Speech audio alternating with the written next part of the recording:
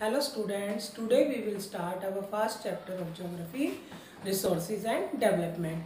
बेटा आज हम एसएसटी में ज्योग्राफी का अपना फ़र्स्ट चैप्टर स्टार्ट करेंगे रिसोर्सेज एंड डेवलपमेंट संसाधन और विकास तो बेटा आज इस चैप्टर में हम जानेंगे कि what is resources write different types of resources what are the different types of resources and what is the importance of resources और क्यों हमें इनको सुरक्षित यानी कंजर्व करके रखना चाहिए? ठीक है तो हम स्टार्ट करते हैं। फ़र्स्ट हम जान लेते हैं रिसोर्सेज क्या होते हैं। Resources are something that are ready to use यानी रिसोर्सेज वो चीज़ें होते हैं जिन्हें हम यूज़ करते हैं। संसाधन होते हैं जिससे किसी भी देश का विकास होता है, किसी भी कंट्री को डेवलप होता है। किसी भी कंट्री का डेवलपमेंट होता है। इसके बाद हम कर, बात करते हैं डिफरेंट टाइप्स ऑफ़ रिसोर्सेज की। तो डिफरेंट टाइप्स ऑफ़ रिसोर्सेज में आपका पहले आएगा बायोटिक और अबायोटिक बायोटिक कंपोनेंट्स वो होते हैं बेटा, जिनमें लाइफ पाई जाती है। अबायोटिक जिनमें जीवन का अंश नहीं पाया जाता है। ठीक है? तो बायोटिक और अबायोटिक इसके बाद हमारा आता है रिन्यूएबल रिसोर्सेज रिन्यूएबल रिसोर्सेज वो होते हैं बेटा, जो हमें बार बार मिल सकते हैं। जैसे हमारी सोलर एनर्जी है और विंड एनर्जी है।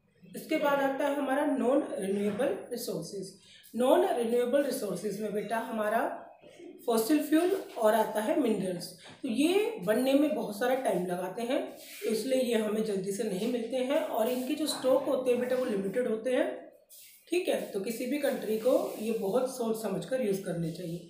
इसके बाद आता है हमारा इंडिविजुअल रिसोर्सेज इंडिविजुअल रिसोर्सेज में बेटा क्या होता है कि वो रिसोर्सेज जो हमारे अपने होते हैं, जैसे हमारा अपना हाउस है, या हमारी एग्रीकल्चर के लिए कोई लैंड है, या फिर ऐसे ही कोई चीज़, ठीक है, जो हमारी अपनी है। उसमें हमारा कोई अपना रेस्टोरेंट या होटल भी हो सकता है, या अपनी कोई दुकान भी हो सकती है, यानी शॉप हो सकती है।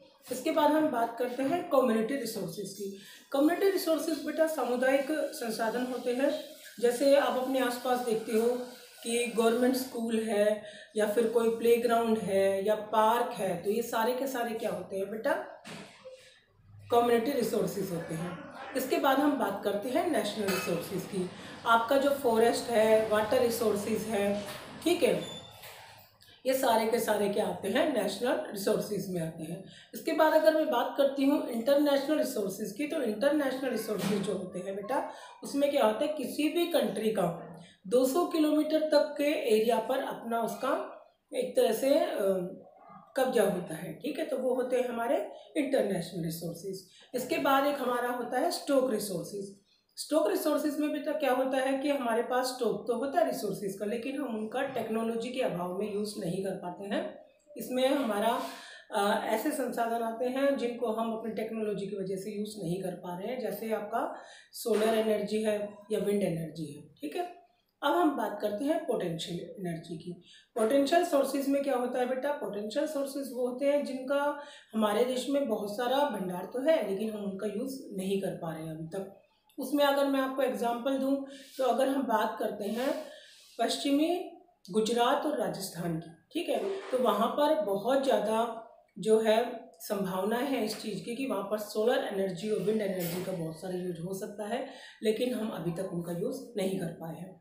इसके अलावा बेटा एक होता है हमारा रिज़र्व रिसोर्सेज और एक होता है हमारा डेवलप रिसोर्सेज ठीक है? इसके बाद हमारा आता है कि किसी भी कंट्री के लिए रिसोर्सेज क्यों इम्पोर्टेंट होते हैं? तो resources are very important to develop any country because resources are the main ठीक है? मतलब रिसोर्सेज जो होते हैं वो बहुत ज़रूरी होते हैं, बहुत महत्वपूर्ण होते हैं। इसके अलावा, अगर हमने अभी से रिसोर्सेज के अल्टरनेट ढूँढने शुरू नहीं किए, ठीक है?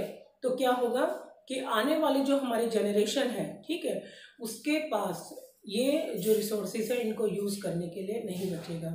तो हमारी जो गवर्नमेंट है, वो अभी से इनको इस तरीके से रिज़र्व करने की कोशिश कर रही है और इनके अल्टरनेट ढूँढने के प्रयास कर रही है, ताकि हमारी जो आने वाली पीढ़ी है, जो जनरेशन है, वो भी इनके यूज़ कर सके। तो जो आज हमारा जो चैप्टर है डेवलपमेंट वाला, यानी रिसोर्सेज एंड डेवलपमेंट उसमें हमने जाना कि किसी भी कंट्री के डेवलपमेंट में सबसे ज़्यादा उसके रिसोर्सेज का इम्पोर्टेंस होता है और जो कंट्री जितना ज़्यादा अपने रिसोर्सेज का यूज़ करती है, वो उतनी ही डेवलप होती है। Thank you